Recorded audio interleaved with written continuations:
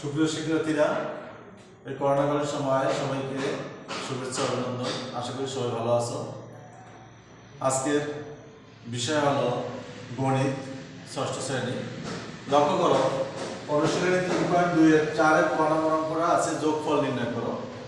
তো যোগফল নির্ণয় করতে হলে এখানে দেখো, বন্ধনীর ভিতরেও আটকানো আছে, বন্ধনী ছাড়াও আছে। আমরা প্রথমে বন্ধনীর ভিতর থেকে কীভাবে বের করব, সেটা দেখো।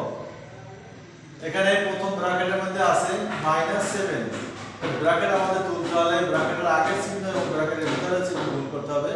তো ব্র্যাকেটের আগে কোনো চিহ্ন দেওয়া নাই, এটা ধরে নিতে হবে প্লাস প্লাস চিহ্ন দেওয়া লাগে না, দেওয়া থাকা লাগে না। তাহলে প্লাসে মাইনাসে মাইনাস সেভেন এখানে দেখো আগে প্লাস চিহ্ন দেওয়া আছে আর ভিতরে মাইনাস প্লাস মাইনাসে minus nine plus four plus sixteen এখন আমরা মাইনাস চিহ্ন যুক্ত সংখ্যাগুলো একত্রে যোগ করে মাইনাস আকারে রাখছি নয় আর সাত, ষোলো।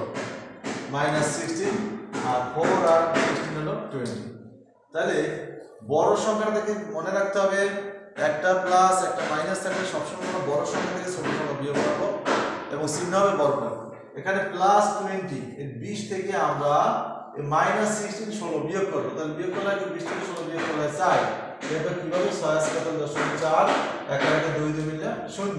তাহলে আমাদের চিহ্ন হবে বড়টা প্লাস ফোর তো প্লাস ফোর যেহেতু প্লাস চিহ্ন না দেওয়া লাগে না মাইনাস হলে অবশ্যই দেওয়া লাগতো। তাহলে অ্যান্সার হবে প্লাস ফোর তাহলে আশা করি সবাই বুঝতে পেরেছ। আগামী ক্লাসে সবাইকে আবার তোমাদের আশার অগ্রিম ইয়া করে আমি এখানেই শেষ করছি। আসসালামু আলাইকুম।